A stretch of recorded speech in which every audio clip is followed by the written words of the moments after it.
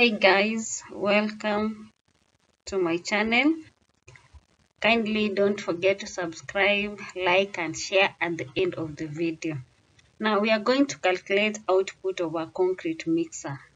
When we have a concrete mixer in the field, we will want to know how much concrete we are able to produce maybe in a day. So that when we are casting a slab we'll be able to know how many days it will take us to do that kind of work. So in this question we are having a concrete mixer.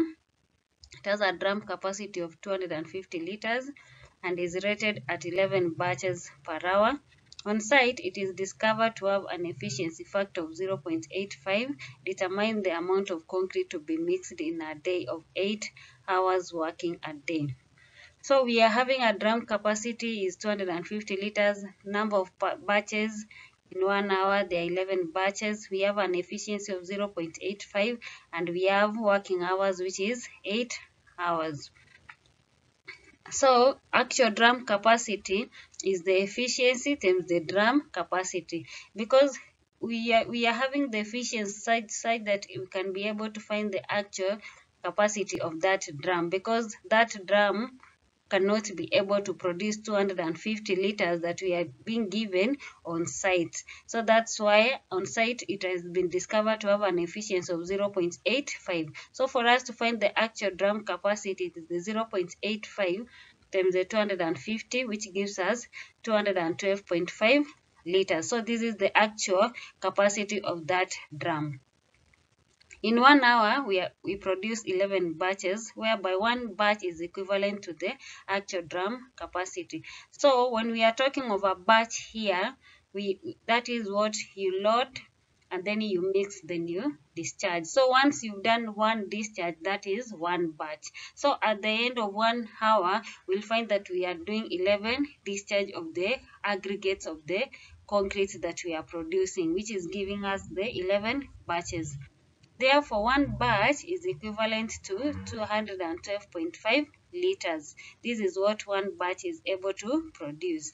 But now we are told in an hour we are producing 11 batches. So we can be able to find how many batches can we produce in in a day. So how many liters of the concrete are we going to get in a in a day so it's the 11 batches. We multiply by the 212.5 liters, which is the actual drum capacity. Then we divide by, by the one batch. So we get 2,337.5 liters. So this is what we are able to produce in one hour, which has 11 batches.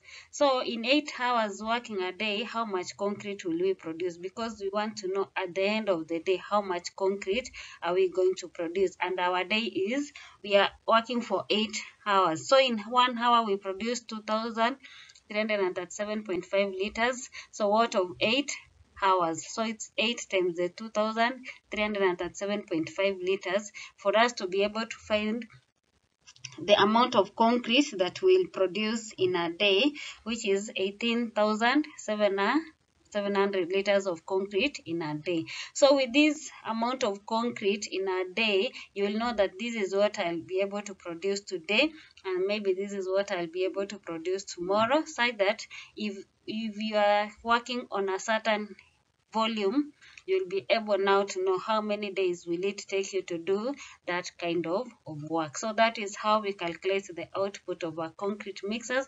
Thank you guys for your time. Thank you for listening. See you on my next video.